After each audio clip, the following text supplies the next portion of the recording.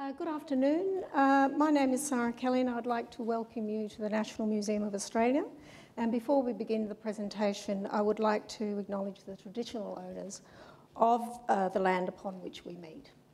Um, I'm the head of the registration section, and as an introduction, I'm just going to give you a very brief overview of what registration does, does at the museum. I'll give you something nice to look at as well. That's the Springfield property.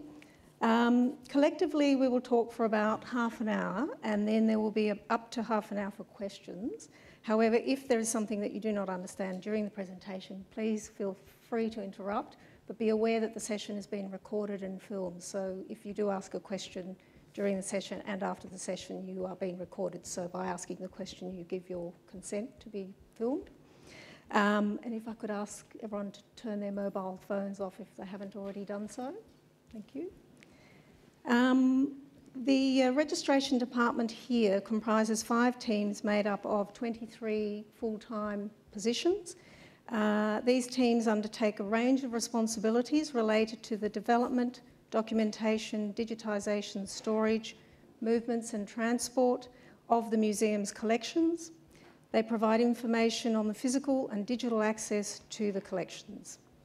They are responsible for managing the National Historic Collection, the Museum Collection and the Archives Collection, which comprise over 230 objects of diverse types across four museum sites and through travelling exhibitions and outward loans, a range of external sites.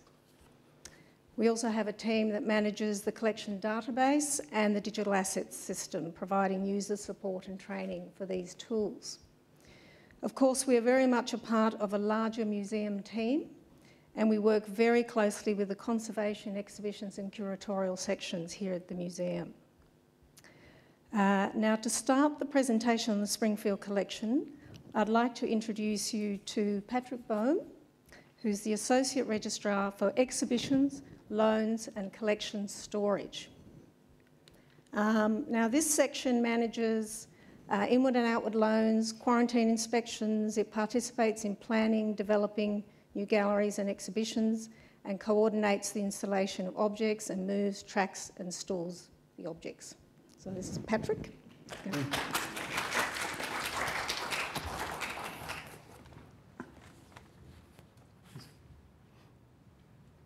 In 2004, the Maple Brown family offered the National Museum a collection of objects relating to life and wool production at the Springfield homestead and merino stud. Springfield is a large wool producing property in the Goulburn region and was home to the descendants of the original owners for 170 years. As you can see, there's a image of uh, a closer image of the homestead. The, uh, the, the Springfields, um, Springfield's long connection with the Springfield homestead enabled preservation of many historical objects connected to the family and the Springfield property. In the 1950s, Bobby Faithfull, a descendant of the, of the original owners, began collecting personal objects of past family and moved them into into disused rooms within the homestead, forming their own Springfield Museum, museum which, in, which helped retain and preserve the family's story and, and the Springfield homestead history. And, uh, and as you can see, this, these uh, two windows here uh, hold the, um, the Springfield Museum on the second floor of the older part of the homestead. Uh, the garage that you see there at the moment is, is uh, part of our staging area for the, for the pack up of the collection. We'll move on, to, it'll cycle through, you can see now an image of the Springfield Museum. Following the offer of donation, the museum began to receive Springfield, begun to prepare to receive the Springfield collections into store in Canberra. A project team including senior staff from the museum's curatorial, conservation and registration departments was formed. At the time, the Springfield collection was estimated to contain over a thousand objects, and this this would be the largest collection of office, collection of objects offered to the museum under the Australian Government's Cultural Gifts Program. A number of site visits to Springfield followed as the project team collected information about site access, availability of workspaces, and collection packing requirements in preparation for, for packing of the collections. Other considerations included staff transport to site, pest treatment requirements, and access to objects for valuers when the collections returned to Canberra. This is one of the initial uh, visits to, to site, um, former director, and some of the curatorial team. The museum's photographer also visited the homestead to document the Faithfull Family Museum layout and homestead, homestead site. These images now form part of the museum's own Faithfull Museum archival record, and many of the images included in today's presentation were sourced from this resource. The project team went on to, to develop a detailed packing and transport plan, refining packing and, hand, packing and treatment requirements for the collection at Springfield and at the museum. A key component of the plan identified the need for handling and, and processing space uh, for, when the, for when the collections arrived at the museum, uh, and with consideration for the processing space to be close to the museum's collection stores. A large container freezer was also identified as a requirement for pest treatment. Uh, it's uh, important for us to, to treat our collections uh, for pest activity as, as if they're brought into our, our collection storage areas um, with, uh, with pests that can infect other, other parts of the collection.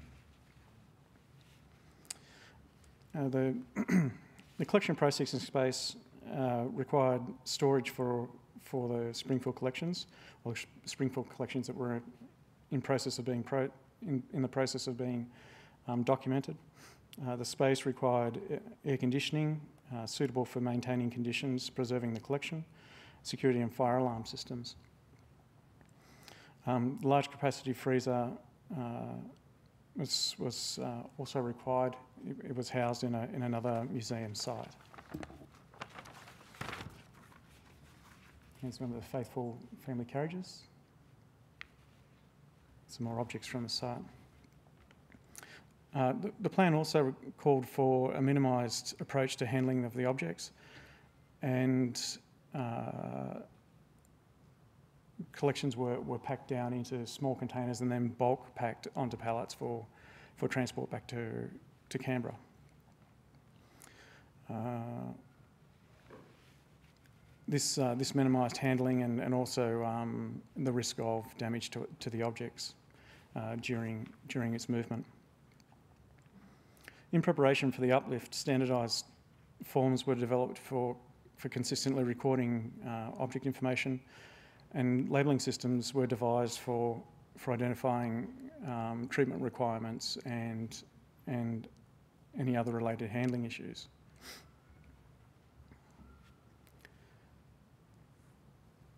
During packing, during packing, object details were recorded on, the, on, the, on a packing list. And a number of us and a number was a, a Euclid, sorry, unique number was, was assigned to the objects, identifying um, each object in the, in the recorded list. Um, museum in, the museum used a labelling system for identifying objects that required fr freezer treatment, and uh, this took the form of a green label with the words freezer treatment on the, on the label, and a red label for objects that were not did, that did not require treatment or should not have been put through the freezer. Uh, this was applied to the external packaging of, the, of, of packed objects. Um, so objects, objects that, also objects that were sus suspected of to contain hazards, um, like chemicals. For example, a, a, medicine chest that was collected from the, from the Springfield Museum uh, were identified with large hazard labels and, and uh, the handling team was, was notified of, of handling requirements for, the, for, this, for this type of material. Barcode labeling was also used to enable uh, efficient object tracking, and each object was assigned a barcode number. The barcode number was also cross-referenced against the packing list for each object. Uh, during, during packing, objects were also assigned to a broad collection groupings in an effort to streamline access and evaluation when, while objects were stored in, in Canberra. Uh, objects at, at, the Springfield site, objects were bulk packed in, onto pallets and they were bulk packed under, um, within these groupings uh, to enable uh, isolated access. We could retrieve, retrieve pallets based on their collection grouping. And some of the groupings uh, were textiles, photographs, books, household objects, and wool growing related material. Uh, the NMA site packing teams included eight staff from, collection, from the collections management area. Uh, this included a mix of registration, conservation, and curatorial, curatorial departments. Two packing teams were, were identified on a roster system and when, not at, and when the second uh, packing team was not at Springfield, uh, they act as a shadow in Canberra, um, providing support for the Springfield team and, and, usually fielding requests for equipment and supplies and preparing these for, for the following day's visit. We got to the end of the slides. Oh, good, okay. Um, over an eight day period, the packing team met each morning at the museum stores, then travelled to Springfield, Springfield for the day, returning to Canberra in the afternoon after spending a, a day um, solidly, solidly packing objects away into containers. Um, at Springfield, the, the, billiard, the billiard table room was, uh, was converted into a packing area, and, and a hard surface was, a, was uh, was temporarily attached to the billiard table to provide a, a large work surface for packing collection material. Um, I get to, uh, later, more fragile objects were, were packed in the Faithfull Museum and also um, adjacent rooms, uh, also uh, at the, close to the Faithfull, Faithfull Museum. Uh, these, these rooms are on the second floor. During the packing process, the teams recorded vital information about objects. This included any identif identifying characteristics, um, any hazards and pest activity, any identifiable pest activity. Uh, descriptive information uh, uh, enabling future identification during unpacking. And the control number was applied to the external external packing so that objects could be retrieved um, easily. Uh, the packing process included wrapping uh, objects in calico and then, uh, then they were shrouded in a polypropylene bag. In many cases, the bags were, were, uh, had, an had a vacuum applied to them to, to make them collapse and, and pack tightly against some of the objects, the objects that required support. Um, these objects were then also packed into a hard usually a polypropylene case, and foam, foam padding was applied to between the, between the voids of the object and the packing case to protect it during, during travel. Uh, um, the museum uh, outsourced transport requirements for, for, the, muse- for the Springfield um, uplift, and a local, local company provided, uh, um, provided two provided two trucks, two delivery services from Springfield to Canberra, uh, bringing, bringing back to Canberra approximately 30 pallets of, of collection material. Yeah, so that, uh, that brings the collection material to Canberra. Material that was then uh, placed into storage, into climate controlled storage, and allowed to acclimatise uh, until, until we, the museum was ready for the next stage, which uh, which took, takes us on to the, the valuation and, and documentation process. And um, Anne is going to talk a bit about that. Anne Kelly. Thank you. Where's the, could we have the white pen, please? Okay, sorry, that's okay. Thanks, Patrick. Um, now I'd like to introduce Anne Kelly, who uh, is the Assistant Registrar for Access and Archives, or Ac Archives and Access, I believe.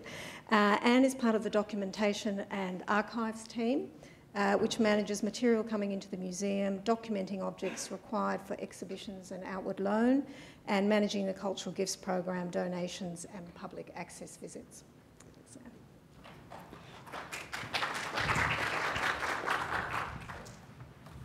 Thanks very much. Well, thank you. I'm going to talk about documenting this collection. Uh, and here you can see some of the dresses as they were uh, hanging in the wardrobes in Springfield. Um, you might even be able to identify some of the ones that are currently on display. Um, the uh, one that's closest to us here in the Visions Theatre is the one we call the Pink Merino, which is in the left-hand side um, picture there in the middle. Uh, on its um, arrival, we documented this collection, and um, now I'll show you how it looks stored in the museum. So these are our shelves in the, in the museum repository. Uh, curators then research these collections and, uh, with conservation, bring you the objects um, in exhibitions. So see, these are some of the dresses you can see on display now. Um, when, a, when a collection arrives at the museum, we document it and uh, we ensure that each uh, object has a record on our database, and this process we call receipting. Uh, we ensure each object has an incoming receipt number, a description, measurements, and an image. That's the basic information. So we, I was uh, a member of the team that, who unpacked this wonderful collection, uh, and here we have some of the dresses when we were unpacking them, measuring them, describing them, and taking images of them. Um, if we look at them individually, on the right there we, I've added some of the descriptions. We had um, uh, some staff members with great expertise in this area, so the descriptions are quite detailed. This is one of the oldest dresses in the collection. It dates from about 1785. Um, and the next one uh, dates from about 1845, which is roughly when Mary Dean married um, William Pitt Faithfull has a lovely rosette on the back of it. And this last one is uh, a dress that dates from the 1880s. It's actually a, a skirt and bodice. And um, one of the images that Patrick showed you um, shows uh, Aunt Dean, as she was known, wearing that dress. So that's from the 1880s. I thought I'd also give you a glimpse of some of the bonnets in the collection. Once on our database, as Patrick mentioned, each object receives a unique barcode number, which, when printed on a label, stored with the object and scanned to the location, means we can track the object throughout the museum. We can tell which building it's in, uh, in which aisle, what bay, what shelf, uh, and whether it's on display. Now, why do we need all this information? Well, first of all, we need this information to ensure that our uh, acquisition documents are, are accurate. And also, in this case, we also needed the information because it was a cultural gifts donation. Now, the Cultural Gifts Program um, encourages the donation of uh, culturally significant items from private collections to public institutions. Um, and in return, donors are, are, eligible for a tax deduction. The uh, valuations are required to, to be done by two approved valuers and then the submission is um, made to the um, Committee for the Taxation Incentives for the Arts. So, um, as Patrick mentioned, with Springfield, um, the, at, at, the uplift stage, the um, incoming receipt numbers had been allocated to grouping. So we already had groups of objects so that they would tally with the, um, with the valuers who were being brought in. So we had one valuer who valued the whole collection, and then um, valuers with particular expertise in textiles or other wool growing material, etc. Uh, so what did this mean for us for our work at, at um, in registration? Well, we had to pull together all those object listings for the different valuers. We had to coordinate their visits. Um, most of them came to the um, repository to look at the collection. Um, others uh, valued the collection based on the Im information we sent them and images. We had to compile evaluation reports and then um, prepare and deliver the submission to the committee. So in 2004, the collection arrived, as Patrick described, and in uh, 2005 we had a very busy year. Uh, the collection was receipted, uh, the valuations took place, the donation agreement was signed, it was approved by the Museums Council, uh, the collection numbers were allocated, and the cultural gift donation was approved. So that was a very busy year. Uh, in 2006, we began the accessioning, and I think we need to explain that the Springfield collection actually contains two collections. It, there's the Faithfull Family Collection, which has, um, which the number for that is 2005 005, and the Springfield Merino Stud Collection, which is actually all the wool uh, related material, which is 2005 0030. So all the numbering of those collections begins with those two. Now, so in 2006, we moved on to um, accessioning.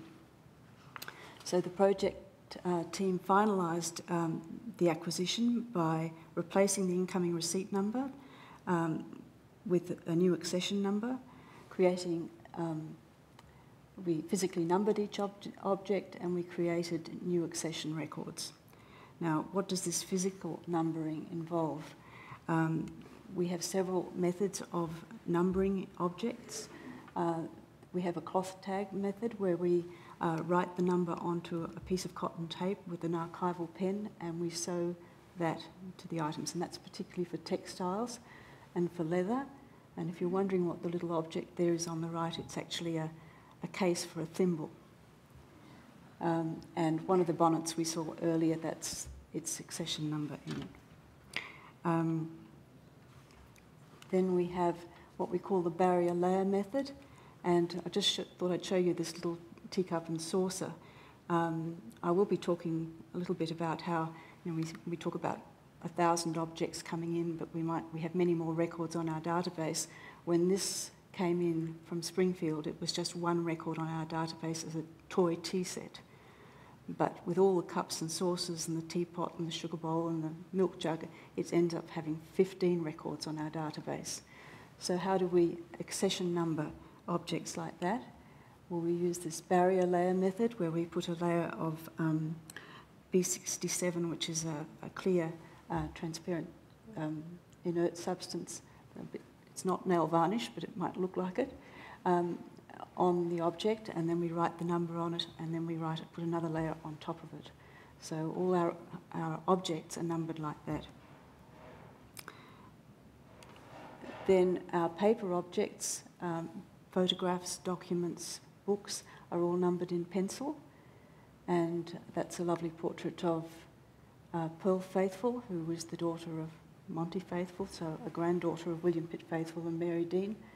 And uh, the, on the back of that, in the lower right hand corner, we have the accession number for that photograph.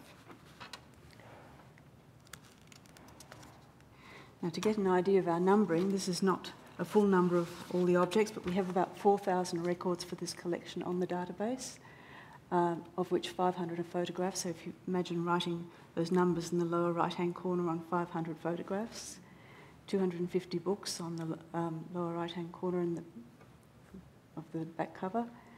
We stitched 650 little pieces of tape onto different objects, and we numbered the paper items. So then we have then we had to um, look at storage, and one of my colleagues uh, measured all the uh, textile items, and we had quite a number of boxes uh, specially designed for each outfit. Um, that's a mourning outfit um, from the 1830s, and you can see that the skirt is stored in the lower part of the box, and there's a tray that fits over it, and the bodice uh, sits in that tray. Um, it's another dress that I had to put in because it's my favourite object in the collection. It's the oldest dress in the collection. It dates from about the 1750s. Um, it's a beautiful green silk brocade dress, and of course, it's all hand stitched inside. It was remodelled probably uh, in the early 20th century when it was worn to um, um, a special event in Sydney. Right, we had to look at the storage of objects. So there's the little thimble case again and its thimble, and it uh, is stored in this um, box with lots of other little small objects. Uh, photographs, we measured all the photographs, calculated how many boxes we'd need, calculated how many mylar sleeves of certain sizes we'd need, and that's how our photographs and documents in the collection are stored. So, in conclusion, every object in the collection is described on our database and we can track its location. It's accessioned into the National Museum's collections and it's stored safely for future gener- generations. Thank you.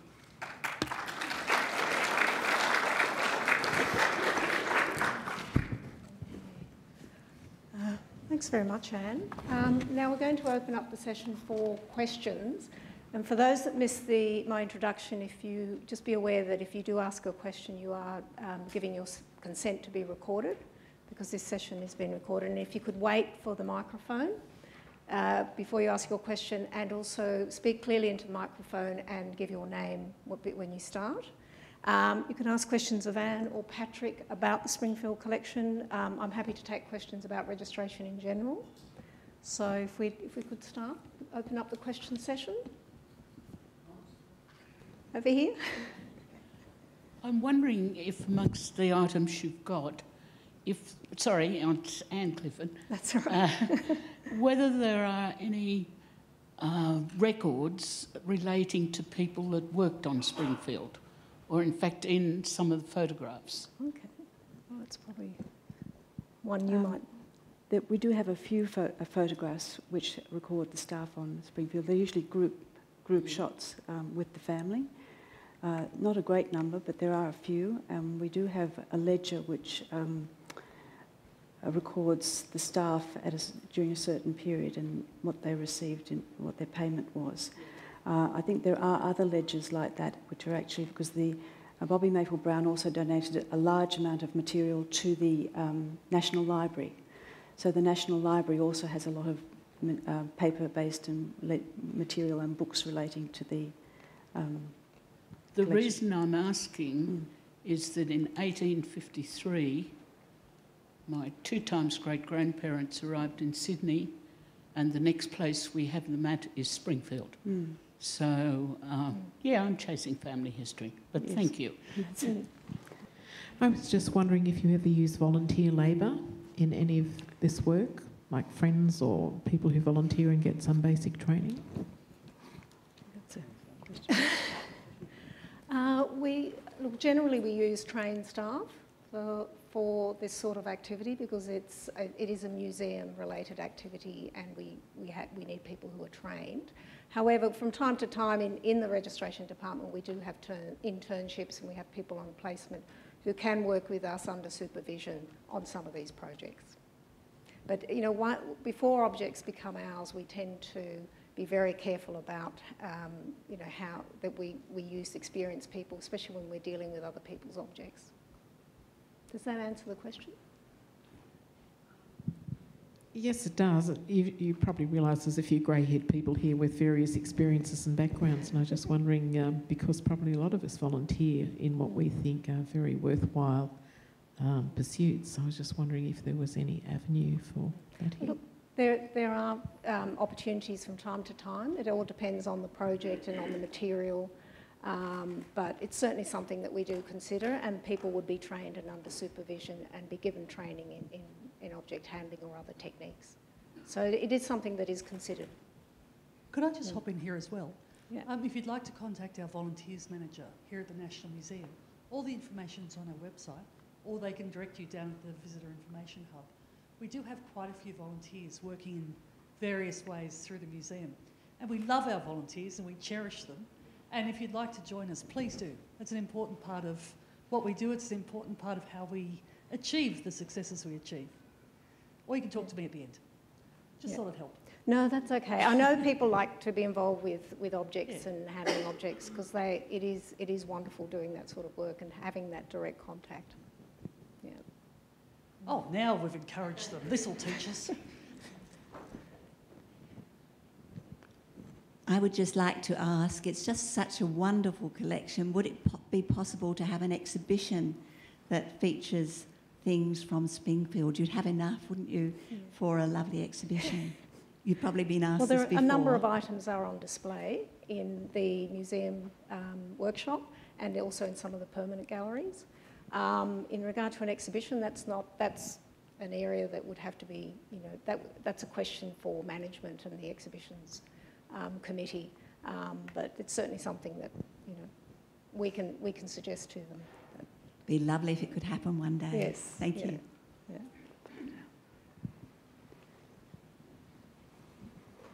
I was just going to say that um, those dresses look in remarkable condition. Was there some conservation done to freshen them up, as it were? I think Anne, you could. Um, conservation has, um, particularly when you saw those um, the dresses in the boxes, uh, they're all beautifully um, packed in those boxes with um, the special dacron and par silk um, sausages that are there to help them hold their shape. So um, the dresses that are on display have had more attention, um, but uh, all of them have been Yeah. looked at and uh, cared for by our conservation section. But I believe they came to us in very good condition did. too, didn't they? Because they, they had been so well looked after Right. by the family. Um, I, I was thinking about the capacity of the museum as a whole to store things. That seems to be a fairly comprehensive collection. Um, one would think that there might be other houses or other, other families around Australia who'd have a similar type of connect, collection. Firstly, you can't continue to keep storing every collection you're offered, I would think. Uh, so, how do you choose what you accept and what you don't accept? given that there may be part of a collection that's particularly um, important uh, for social history and another Yeah. part that isn't.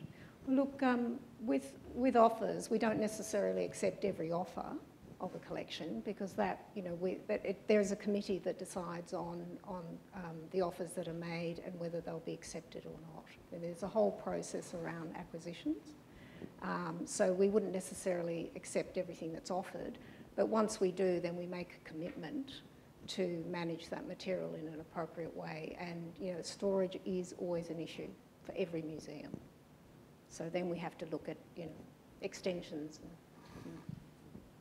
Oh, I'm just going to make a couple of comments. It's Carol Cooper, and I'm now a senior curator at the museum, but I was registrar when this collection came in. Carol Cooper, Um, who starred in most of the photographs.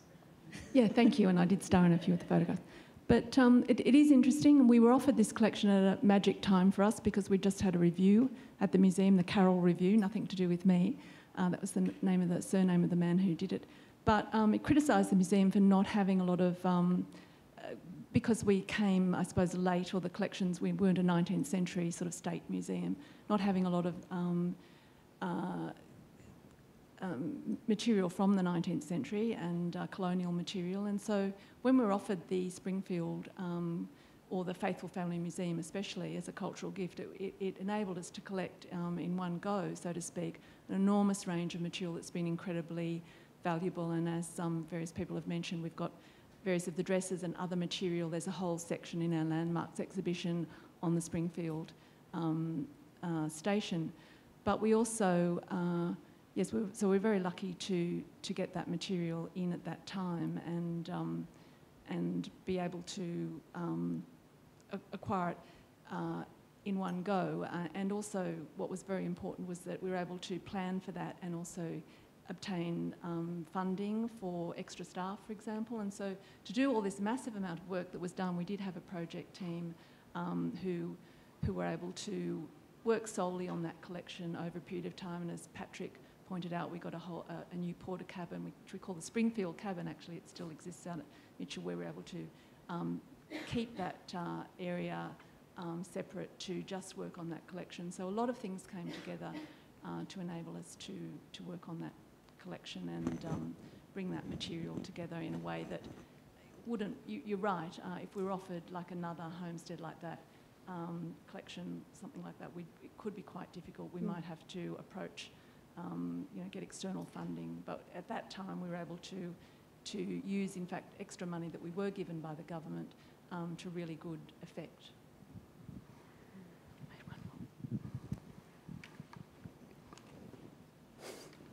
Um, you have all the objects, but has anything been done about writing the story of the, the Springfields or the Faithfulls or, or documenting their story to go with it? well, there's A couple of books have already been written some years ago by Peter Taylor on, on the Springfield homestead and also on Bobby Maple Brown. So, um, Carol. even though we don't plan to have a at, the, at this stage to have a whole exhibition on the Springfield collection as such, we are planning a website, which in fact will. Um, a lot of the photographs that you saw in the presentations were taken by our senior photographer, um, George Serras, and when he did that work, he took complete photographs in the round of the two-room museum. So we'll be able to recreate that museum, uh, walk through that museum, and you'll be able to click on objects and, and get all the information. So we're planning that work, which um, um, hopefully that curatorial and registration and conservation will be involved with. Um, so that will enable us to um, use a lot of the material that's already been uh, fortunately um, sort of uh, researched by this man, Peter Taylor, who actually spent a lot of time talking to Jim Maple Brown, the, one of the donors' um, mother, and she had a lot of the family history, but a lot of that was also uh, passed on to Jim's wife, Pamela, and so she's also um, knows a lot about the, the, um, you know, the oral history that goes with those collections. And I've um, did initiate a project uh, to look at the, the actual oral history about the museum when it was in operation, because the, the museum was actually in operation for over 50 years, and a lot of people came to the museum when they were visiting, and the, um, the Maple Browns had little labels and things like that. So it's a fascinating uh, subject, and we will, uh, we do hope to bring this out as a website, um, which will make a lot of the collection more available just in one, one spot. How do you preserve uh, timber furniture if it's cracked? How do you stop it deteriorating further? I think it's more a question for the conservation people here. Um, but Patrick, do you have any Only suggestions? We provide good storage, good stable storage for, the, for that type of material for, for our furniture collections. Mm, And that does help to, to slow down changes in the timber yeah, if you, yeah, if you have um, a constant temperature and relative humidity, you can, can stop that. Three questions, just short. Uh, first one, do the Maple Browns still own Springfield? Two, is it still a working property? And three, is Springfield ever open to the public? Um, the Maple Browns did sell the property a few years ago, um, so I don't think it's open to the public. Um, and they still, I don't, they still own a lot of property in that area, which they um, still use as a, for merinos. But um, I don't know what proportion of the property around the house was sold. Um, you said there's ledgers here, or a ledger of some paperwork, and the, the photos. Is it possible to have a look at them, and how do you arrange it? It's a case of making an appointment to, to come in, and also um, somebody I know, her granddaughter, has recently had her wedding reception at Springfield. Now, I think she knew the owners, but I'm not sure if that's perhaps one of the ideas for the house in the future. I did see, I did see a, a comment in, a- in a news article uh, by Jim Maple Brown suggesting that it should be turned into some, some type of uh, resort or, or, or short stay um, uh, type of property. So- I think the bride knew the owners, Mm. um, which is, and they offered to do it for her, but it was just something that's happened recently. To do with the family history material, um, we do have a process by which um, people can apply to look at objects in storage, and we have a form that's filled in, and we look at whether access to that object is possible. Um, all our photographs have been digitised and will be uploaded onto our database, so they will be searchable by the website. Um, the ledger, I think, is also going to be digitised so that it will be available. Um, because if we had too many people coming to look for their ancestors in one ledger, you can imagine that means it's being retrieved too often and, and handled too often. So I think there will be uh, processes in place that you'll be able to look at those images. Mm. Within the next six months? Or... Sorry, sorry. Well, yeah. Well, we hope we well we have a digitisation um, program starting up soon, so we're hoping to digitise a lot of our paper material.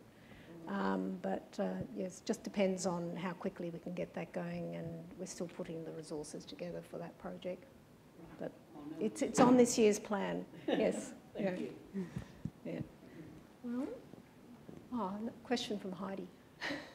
Just a lady up the back. Um, every time I see the Springfield dresses, I'm struck by the vibrancy of the colour of them.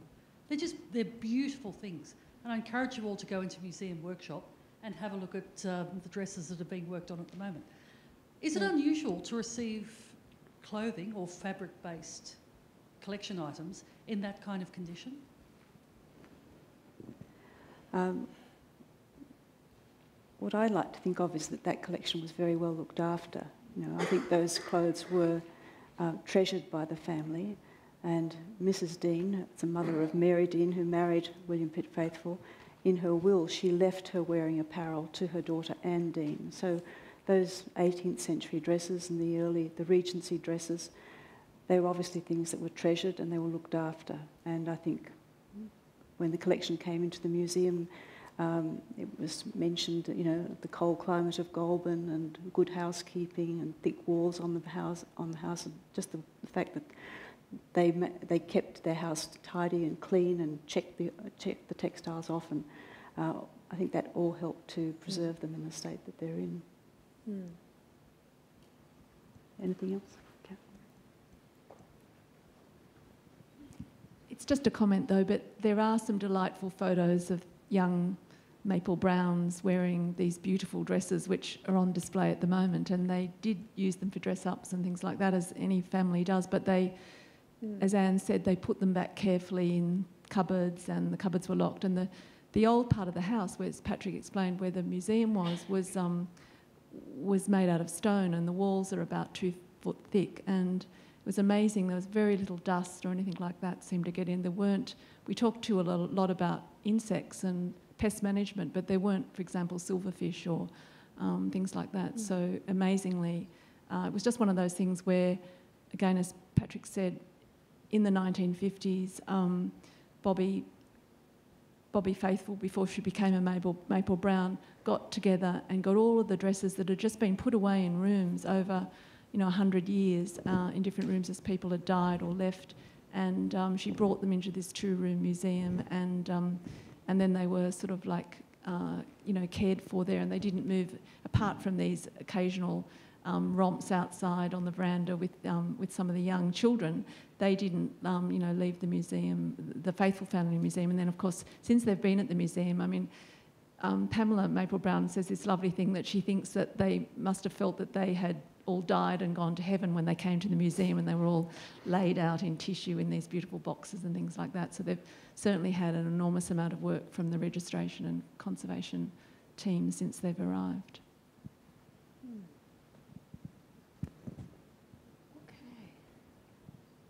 Any more? That's it. Um, look, I'd like to thank you very much all for coming along today, and I, I encourage you to go into the uh, museum, uh, workshop, exhibition, and the permanent galleries where some of the objects are located. And um, I hope you enjoy the rest of your visit.